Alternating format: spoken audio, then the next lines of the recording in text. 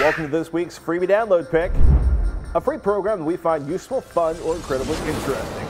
This week, free HD converter. Solid state video cameras are awesome. You never have to deal with videotape again. But chances are, if you've got AVC HD files coming out of that new camera, you don't have any software that can edit them.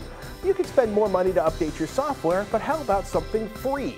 It's called the Free HD Converter. This little tool does one thing and one thing only.